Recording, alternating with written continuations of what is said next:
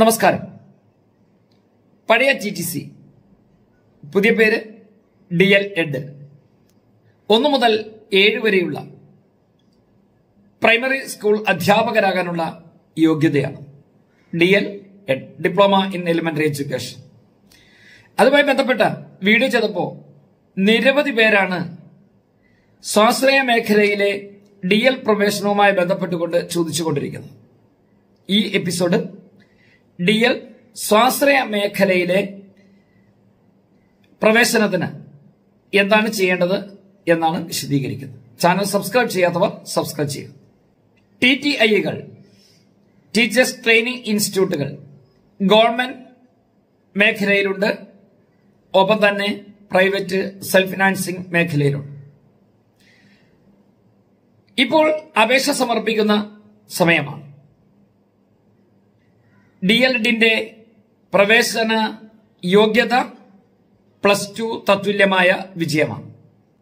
D L Ed രണ്ട് വർഷ ദൈർഘ്യമുള്ള കോഴ്സാണ് ആകെ നാല് സെമസ്റ്ററുകൾ ഇതുമായി ബന്ധപ്പെട്ടിട്ടുള്ള കൂടുതൽ വിവരങ്ങൾ അറിയാൻ സന്ദർശിക്കേണ്ട website W W dot education dot Kerala dot G O V dot in എന്ന സൈറ്റാണ്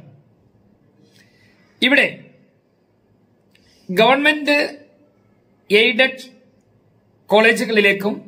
ഒപ്പം സ്വാശ്രയ കോളേജുകളിലേക്ക് ഇപ്പോൾ അപേക്ഷ ക്ഷണിച്ചിട്ടുണ്ട് യോഗ്യത പ്രായം തുടങ്ങിയ കാര്യങ്ങളെല്ലാം ഒരുപോലെ തന്നെയാണ് സംവരണ രീതികളും ഒരുപോലെ തന്നെയാണ് വ്യത്യാസം സ്വാശ്രയ മേഖലയിലെ അമ്പത് ശതമാനം സീറ്റുകൾ സ്വാശ്രയ മാനേജ്മെന്റാണ് അതിലേക്ക് കുട്ടികളെ എടുക്കുന്നത് അമ്പത് ശതമാനമാണ് ഗവൺമെന്റ് മെറിറ്റ് കോട്ട എന്ന് പറയുന്നത് അപ്പൊ ഇതിലേക്ക് മാനേജ്മെന്റ് സീറ്റിലേക്കാണെങ്കിൽ അതാത് സ്കൂളിലെ മാനേജർമാർക്ക് പ്രത്യേകം അപേക്ഷ സമർപ്പിക്കണം അതിൽ അപേക്ഷാ ഫോമിൽ മാനേജ്മെന്റ് കോട്ട എന്ന് പറയുന്ന ഒരു ഫോം പ്രത്യേകമുണ്ട് അത് ഫില്ല് ചെയ്ത് അതാത് സ്കൂളിലെ അല്ലെങ്കിൽ കോളേജിലെ മാനേജർമാർക്കാണ് അപേക്ഷ സമർപ്പിക്കേണ്ടത് ഇവിടെ നൂറ് രൂപയുടെ ഡി ഡി എടുക്കണം മാനേജ്മെന്റ് കോട്ടയിലേക്കുള്ള സീറ്റിലേക്കാണെങ്കിൽ ഡി ഡി സ്ഥാപന മാനേജറുടെ പേരിലാണ് എടുക്കേണ്ടത് എന്നാൽ മെറിറ്റ് സീറ്റിലേക്കാണെങ്കിൽ അത് ഡെപ്യൂട്ടി ഡയറക്ടറുടെ പേരിലാണ് ഡി ഡി എടുക്കേണ്ടത് അത് പ്രത്യേകം ശ്രദ്ധിക്കേണ്ട ഒരു കാര്യമാണ് പിന്നെ ജനറൽ മെറിറ്റ് മെറിറ്റ് കോട്ടയിലേക്കുള്ള അപേക്ഷ സമർപ്പിക്കേണ്ടത് ബന്ധപ്പെട്ട ഡി ഡി ഓഫീസുകളിലാണ് എന്നാൽ മാനേജ്മെന്റ് സീറ്റിലേക്ക് ബന്ധപ്പെട്ട സ്ഥാപനത്തിൽ തന്നെയാണ് അപേക്ഷ സമർപ്പിക്കേണ്ടത് ഇനി ഇതിന്റെ ഫീസ് വിവരങ്ങൾ admission fees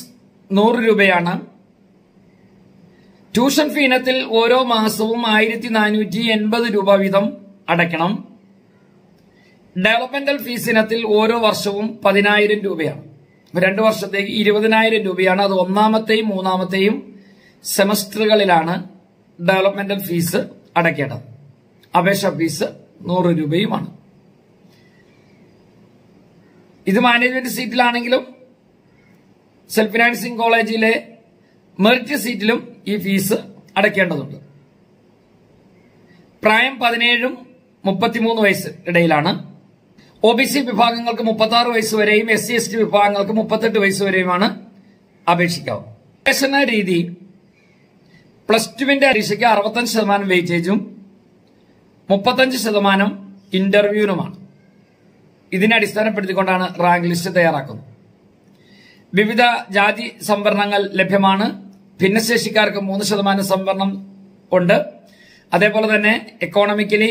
weaker section E W S വിഭാഗത്തിന് പത്ത് ശതമാനം സംവരണമുണ്ട്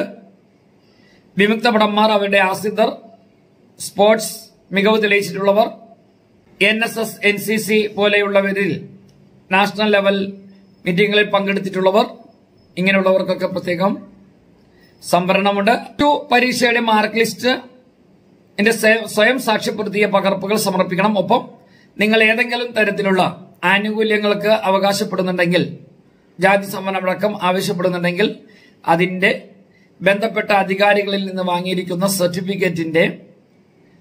സ്വയം സാക്ഷ്യപ്പെടുത്തിയ പകർപ്പ് അപേക്ഷയോടൊപ്പം സമർപ്പിക്കണം അപേക്ഷ സമർപ്പിക്കാനുള്ള അവസാന തീയതി നവംബർ മാസം ഇരുപത്തി മൂന്നാം തീയതിയാണ്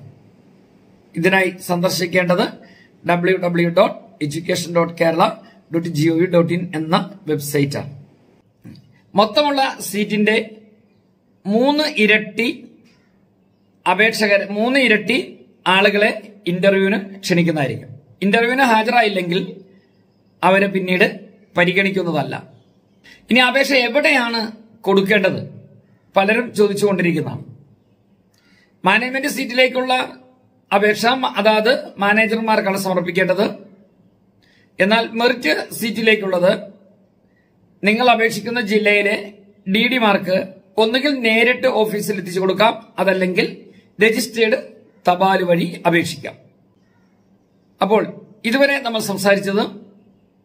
ഡി എൽ എഡ് സ്വാശ്രയ മേഖലയിലെ പ്രവേശനവുമായി ബന്ധപ്പെട്ട കാര്യങ്ങളാണ് ഈ വീഡിയോ നിങ്ങൾക്ക് ഇഷ്ടപ്പെട്ട ലൈക്ക് ചെയ്യാം ഷെയർ ചെയ്യാം കമന്റ് ചെയ്യാം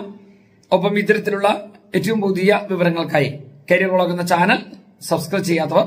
subscribe ചെയ്യുക. Thanks for watching this video. See you again. Thank you.